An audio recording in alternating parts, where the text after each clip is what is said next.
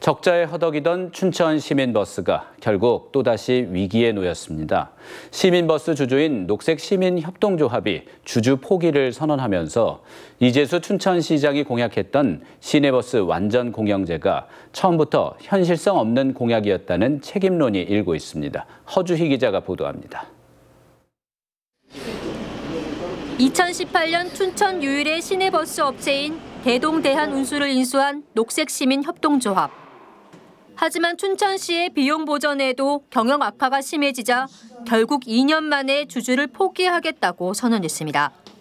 이재수 춘천시장의 제안에 따라 시민이 관리하고 통제하는 대중교통 모델이 될 수 있다는 판단으로 설립됐지만 인수자금을 차입금에 의존하는 부실한 협동조합이 되고 말았다는 겁니다. 특히 이 시장이 영입한 법정관리인이 대표이사로 취임한 뒤 1인 회사로 전락하는 등 할 수 있는 일이 아무것도 없었다고 비판했습니다.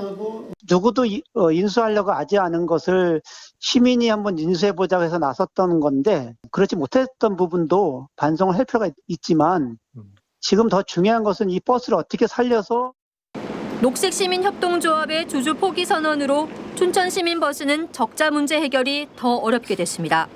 춘천시의회는 적자 보전 규모가 올해 연말까지 120억 원을 넘을 것으로 예상하고 있습니다. 춘천시의 노선 변경과 코로나19 사태로 수익 노선마저도 보조금이 지원되는 구조가 됐다며 춘천시의 자구책 마련을 촉구했습니다. 주주 포고를 하고서 선언하고 나가버리면 결국엔 꼬리 자르기로밖에 보이지가 않는다는 거죠. 그럼 이 추후에 어떤 식으로 운영을 할 것인가에 대한 것도 또이 시민들을 또 떠, 안고 가야 되는 문제가 되는 거죠. 춘천시는 막대한 예산이 투입되는 사안인 만큼 춘천 시민버스 전담팀을 꾸리고 공론화 절차에 나서는 등 대책을 찾겠다고 밝혔습니다. 춘천 시민버스는 상황이 더 복잡해졌습니다. 버스 운행도 다시 불안정해질 수밖에 없게 됐습니다. MBC 뉴스 허주입니다.